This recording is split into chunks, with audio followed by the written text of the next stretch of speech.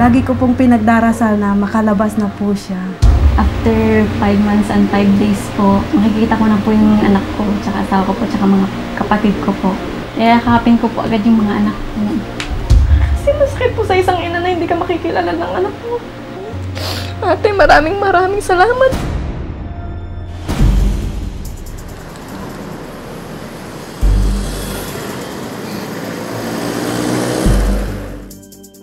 Kapatid mo na sa ospital pa, Chinese General Hospital.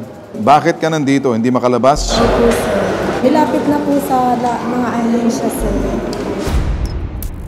Nabawasan na dito. Opo. Ang So- malinis lang po na bill niya, sir, ngayon, yung 32,000 na lang po. So 32,000 lang titira. Opo. Nabayad na sa ospital yung kanyang ano, PCSO, Malacanang, and DSWD. I need you to take care of this, okay? And then I'd like you to visit. Ayaw palabasin ng ospital? Bakit daw? Hindi po kasi nakabayad kami ng bill, sir. Okay, this is what we're gonna do. I want you to do a surveillance on this. Go to the hospital. I want to find out exactly if bills have already been paid and they still want to detain. Get this out. All right?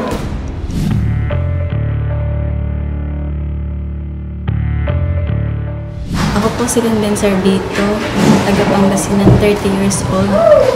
Na-admit po ako noong October 8 dahil po sa sakit na aneurysm. Matagal na po nilang sinabi, pwede na daw po akong lumabas. Kaso lang po wala po kaming perang panglabas. Humingi po ako ng tulong sa bitag para po makalabas na po kami kasi matagal na po ako dito. Matagal na po akong okay. Marami na po kaming napunta na hinihingi ng tulong. Kaso lang po wala po, wala na po kaming perang pambayad. Bawal huto. Inuulit ko, bawal na bawal na magdetene ng pasyente. Ito'y nakasaad sa Republic Act 9439 o Hospital Detention Law. Ito ang batas na nagbabawal sa mga ospital, medical clinic na ikulong o ipigilan makalabas sa mga pasyenteng hindi makabayad ng buo sa kanilang hospital bill o medical expense, buhay man o patay. Ito naman hong ginawa namin. Kipag-ugnayan ho ang Bitag Kilos Pronto team sa opisina ho ng Chinese General Hospital President si Dr. James D. At uh, kani-kanina lang bago tayo, ito'y umere. Isang tawag mula kay Attorney Alvin Moranya ng Credit Collection Department ng Chinese General Hospital ang natanggap ho ng Bitag Kilos Pronto. Ayon sa kanya, inaprubahan ni James D. ang request ni Marley na magpasa ng promissory note na walang collateral para tuluyan na makalabas sa ospital ang kanyang kapatid na si Lin Lin. At bukas na bukas daw, asikasuhin na, aasikasuhin na nila ito. Just do the right thing, James, and we'll be friends. Sumunod kayo sa batas. Okay na ba sa'yo? O, Thank you very much, sir. Okay, Maraming huwag ka muna mag-thank you hanggat hindi ka nakalabas kasi gusto ko makita ang kapatid mo dito. Ha? Pag na kayo nakalabas, o e-airin natin to, Opo, okay? sir.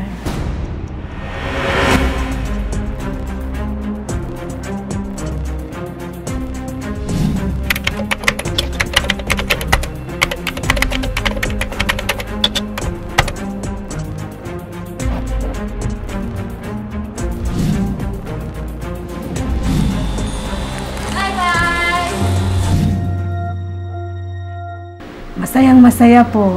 Kasi ito na po yung dasal namin na lagi ko pong pinagdarasal na makalabas na po siya. Masayang masaya po kasi nakalabas na po ako. After 5 months and 5 days po, makikita ko na po yung anak ko, tsaka asawa ko po, tsaka mga kapatid ko po. Iyakapin ko po agad yung mga anak ko. Mahal na mahal ko po ng sobra-sobrang mga anak ko. Sana po makilala pa po ako ng bunso ko kasi matagal na po akong hindi nakikita. Kasi masakit po sa isang ina na hindi ka makikilala ng anak mo. Kasi iniwan ko po siya 8 months pa po. Ngayon 1 year old tsaka 4 months na po siya. Ate, maraming maraming salamat kasi ikaw yung tumulong sa akin. Hindi mo ako pinabayaan. Hanggang sa paglabas ko, ikaw gumawa ng paraan. Salamat tayo sa Maraming Panginoon salamat. sa pangalawang buhay mo, Linlin. Nagpapasalamat din po ako. Lumaban po talaga siya para sa kanyang mga anak at kitang-kita ko. Lagi niyang sinasabi sa akin, Ate daw, huwag mo ko pababayaan. Lagi niyang sinasabi sa akin, Ate daw, huwag mo ko iiwan. Mahal na mahal kita. Mahal na mahal din kita, ate. Salamat sa lahat. Salamat, ate.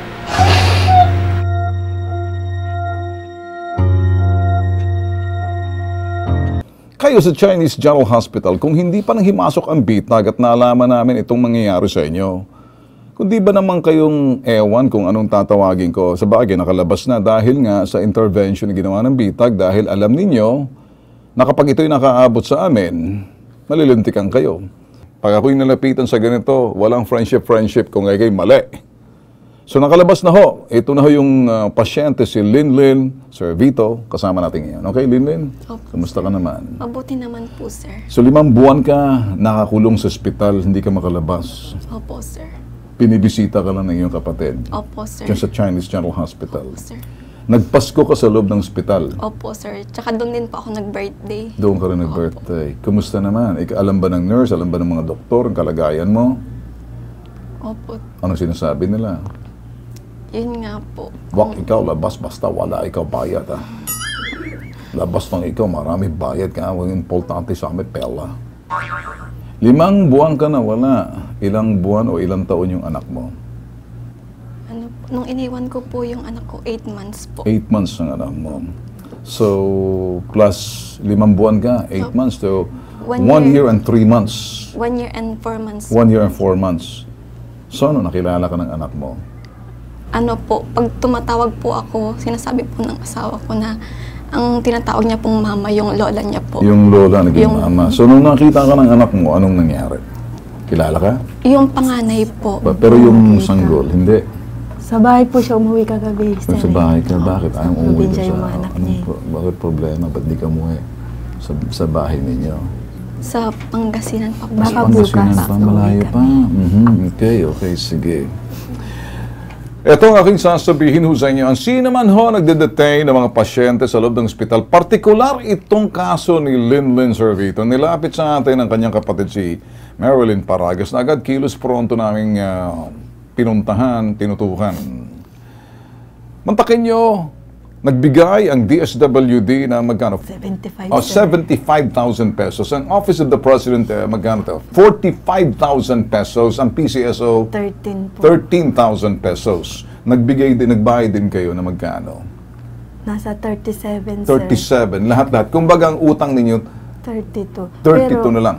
Yung may PW pa po siya, tsaka PhilHealth. Okay, Yung okay. PWD So na- ngayon, ma- magkano na lang utang nyo roon? 32,395, sir. At sa dahil 32,395, kinulong pa rin siya.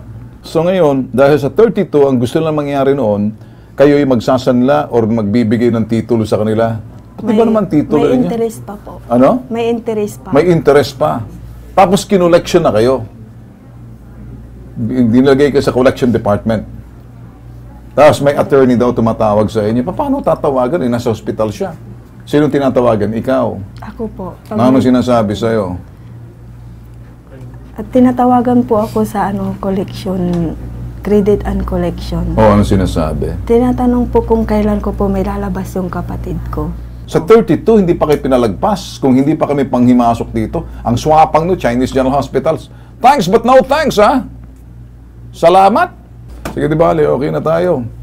So, magbayad lang kayo, abot kaya. Opo, sir. Alright. Na- nangako naman po ako doon sa na ang usapan po namin 1,500 every 15 days. Every 15 days? Kinsinas katapusan po. One Ano? five. Tapos pag hindi mo na bayaran, mag, anong gagawin nila? Pag hindi lang po ako tumapad sa Oh, usapan, anong gagawin? Kukulong ka? 25 to 25% po yung ano, yung parang penalty ko po. Ayun, tuloy na booking kay Chinese General Hospital, ah. Hulog sa bitagang racket ninyo. Pag may problema ka, sumbong ka sa akin ulit, ha? Titingnan ko kung ginigipit ka ng mga koleksyon nila, ha? Opo. Takbo ka sir. sa akin. Sir, Tingnan, salamat. titingnan ko kung ano mga su hakbang na susunod. Hindi ako magsasawang pagtulong sa inyo. Ha? Salamat po, sir. Walang ano man, okay?